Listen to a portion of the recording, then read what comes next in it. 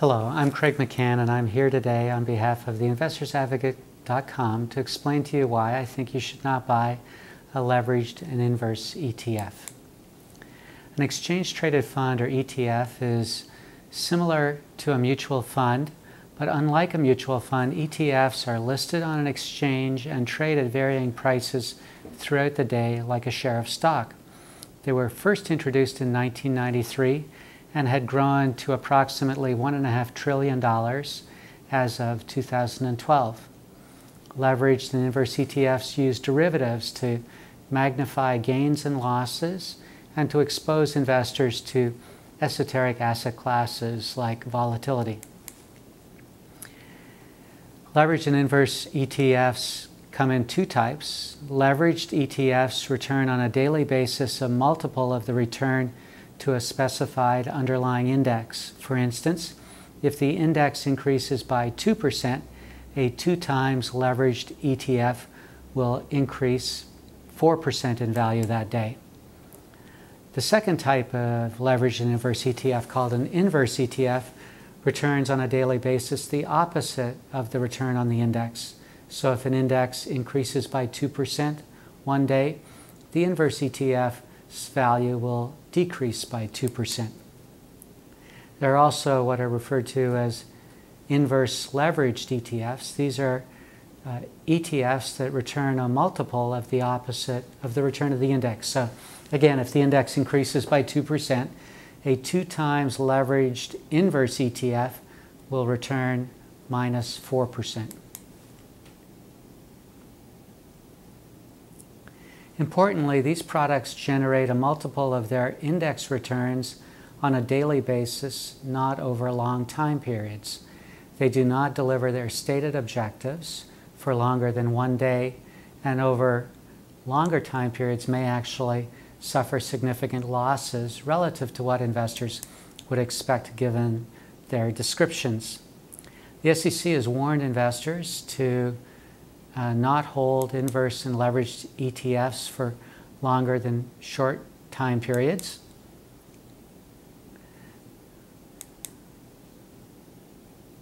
FINRA has also told brokerage firms that they should not recommend inverse and leveraged ETFs to be held for longer than a short time period.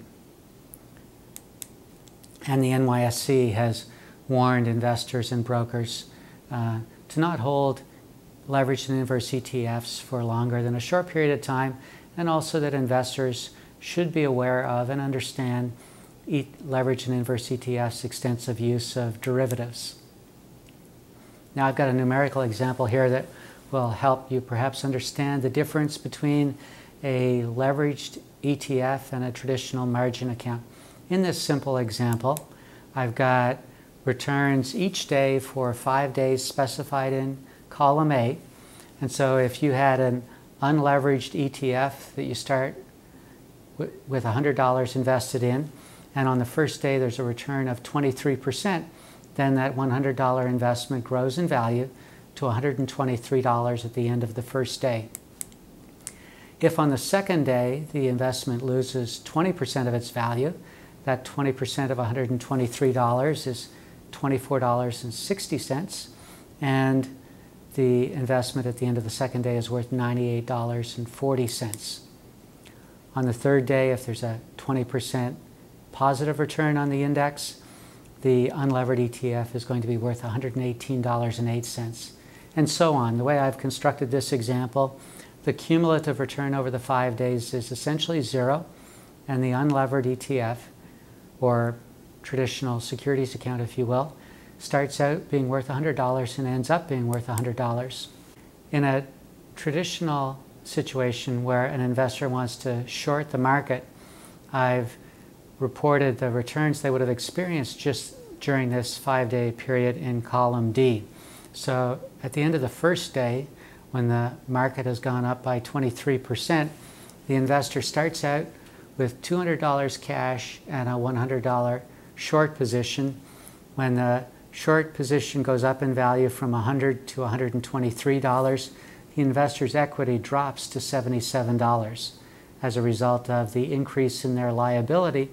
That short ETF from $100 to $123.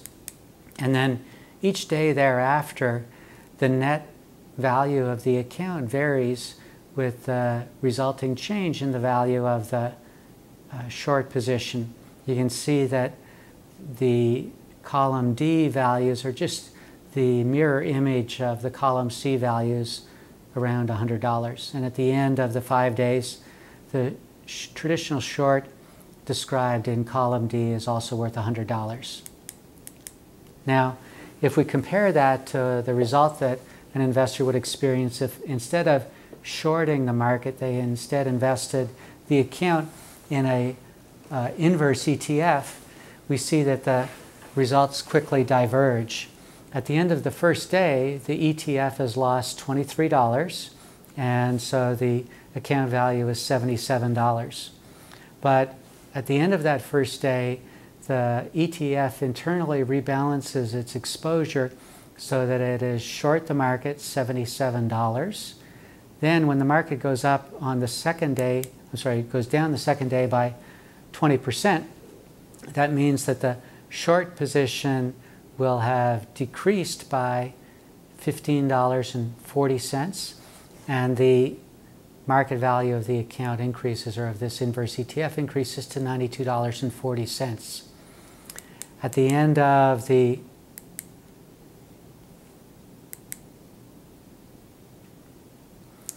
At the end of the five-day period in column F, you can see that this inverse ETF is worth $81.83 instead of the $100 or $99.99 that a traditional short position would be worth. That difference, the difference between $99.99 and $81.83 is as a result of the daily rebalancing that the inverse ETF does that the traditional short position would not typically do. You can see if you compare columns E and columns F, a similar comparison when you compare a leveraged investment in the stock market, that's column E, and the three times levered ETF, which is column G.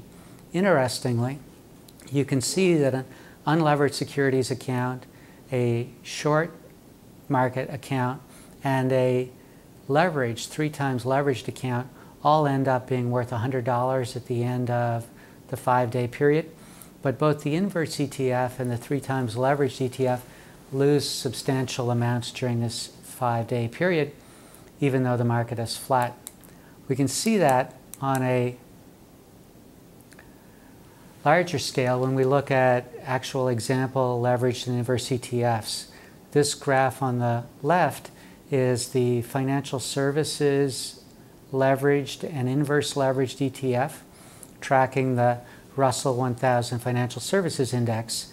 You can see that the Financial Services Index in green is up slightly between 2008 and 2010. So the three times leveraged ETF should be up and the inverse ETF should be down some but what you see here is that the blue line, which is the three times leveraged ETF, rather than being up 30 or 40%, has actually lost about 80% of its value.